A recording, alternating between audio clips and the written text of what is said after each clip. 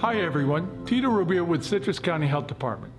As you know, older adults and people of any age who have serious underlying medical problems like high blood pressure, heart issues, and diabetes are most likely to develop serious complications from COVID 19.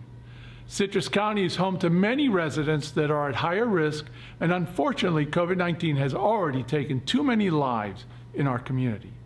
So, I am asking each and every one of you to help us in our fight against COVID 19.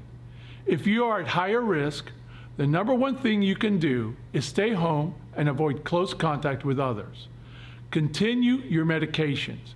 Do not change your treatment plan without talking to your doctor and call your healthcare provider if you have any concerns about COVID 19 and your underlying medical conditions.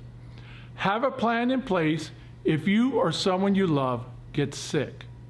Also, know that our emergency departments and emergency medical services have thorough infection prevention protocols to protect you from getting COVID 19 if you need care.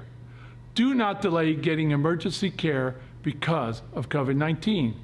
Lastly, just because you are not at higher risk doesn't mean you don't have an important role to play in slowing the spread of this disease. You too should practice social distancing. Stay home as much as possible and wear a cloth face mask when out in public to protect others. I know we are all feeling the stress, fear, and anxiety as COVID 19 continues to spread in our community. If you are feeling overwhelmed, reach out and talk to someone.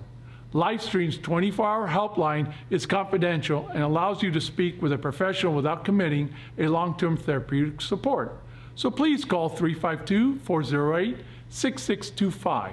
Citrus County, we are in this together. If you all continue to do our part, we can and will get through this.